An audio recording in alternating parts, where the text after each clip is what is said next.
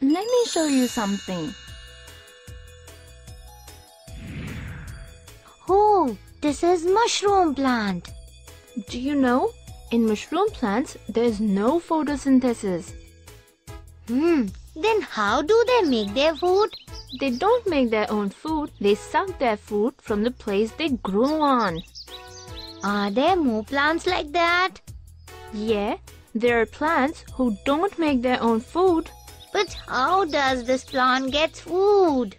My magic wand would show this.